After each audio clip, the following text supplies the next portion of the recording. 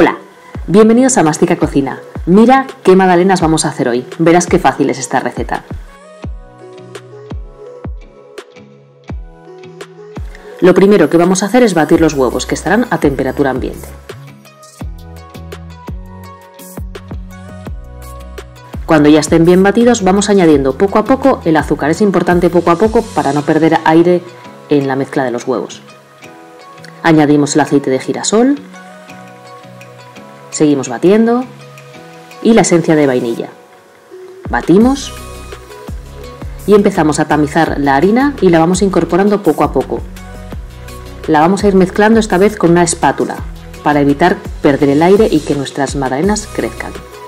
Vamos a ir echándola poco a poco y mezclando. Añadimos también el polvo de hornear y terminamos de mezclar.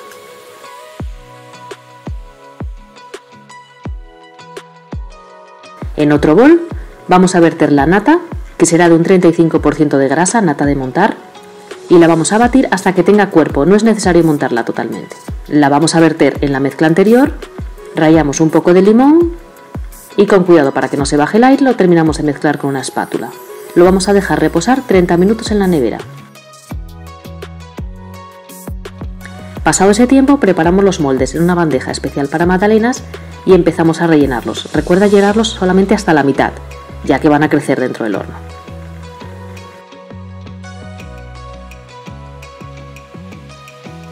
Añadimos media cucharadita de azúcar por arriba para hacerle la costra de azúcar y las vamos a llevar al horno que estará precalentado a 220 grados. Horneamos los primeros 10 minutos a 220 grados y sin abrir el horno Vamos a bajar la temperatura a 185 grados y horneamos 15 minutos más. Una vez listas las vamos a dejar enfriar en rejilla y ya las tenemos listas. Con las cantidades que te dejo a continuación te van a salir 23 magdalenas. Mira, son súper esponjosas y muy suaves. Si te ha gustado la receta, dame un like, comenta y compártela en tus redes sociales.